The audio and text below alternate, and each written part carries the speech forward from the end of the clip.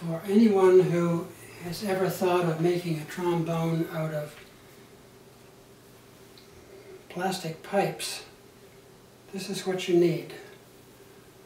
Some half-inch pipe for the slide, or the core of the slide,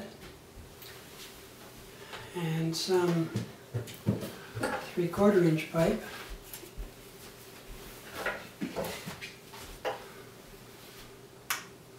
for the slide itself.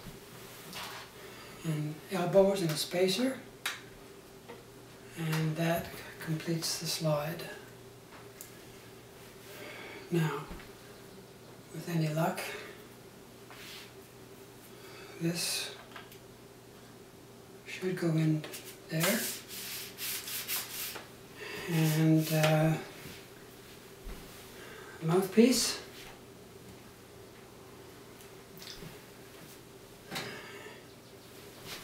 And now this that looks a little bit like a sink plunger. New, hasn't been used. Put it on this L-shaped piece. Some Velcro to make it stick. And the trombone is complete. Now, we'll see if I can get a sound out of